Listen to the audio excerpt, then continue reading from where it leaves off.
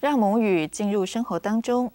国家语言文化生活节除了有听障团体摆摊，也有用手语来说故事绘本，让现场大朋友小朋友都在故事当中开心的学手语，一起认识聋人文化。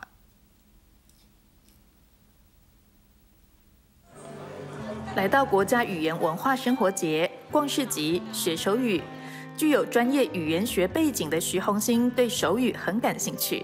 最近就是因为防疫记者会嘛，然后我们很常会看到，呃，就是有手语老师在旁边在在在比手语，所以就是也渐渐的对于就是手语这件事情，好像呃，其实在我们生活中很常被看到。那您之后会有兴趣想要学手语吗？哎，会啊，就是其实都会有在关注。除了到市集上跟聋人交流，手语绘本更是吸引大小朋友的目光。耳朵上面装了助听器哦，两只耳朵都有。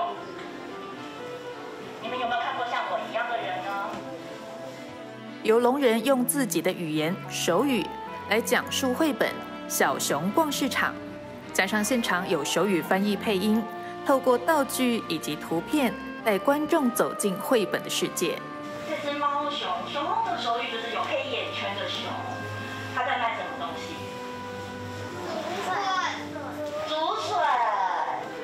透过市场上会出现的东西和生活经验连结，自然而然学会手语。看完绘本故事，最后还有亲子互动来检验成果。想买，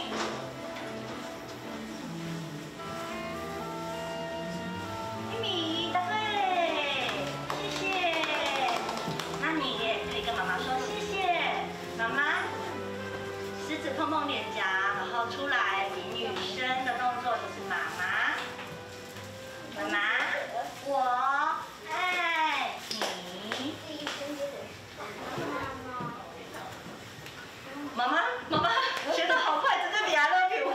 你喜欢今天的活动吗？喜欢。为什么？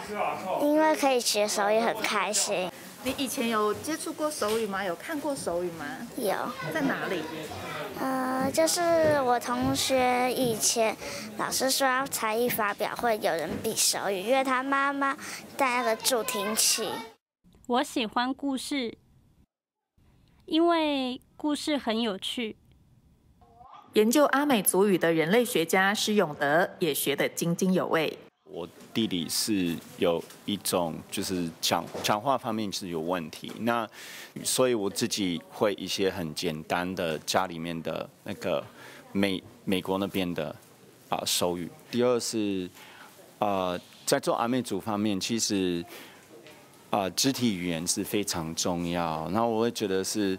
很有趣，就是手语它整个文法，或者说它整个表现的那种方式是用身体。随着手语越来越被看见，以及一百一十一学年开始，国中小学必修国家语言包含手语，期待各个族群的文化都能够在台湾这块土地上生根萌芽，开出美丽的花。记者欧佩君、郑凯文台北报道。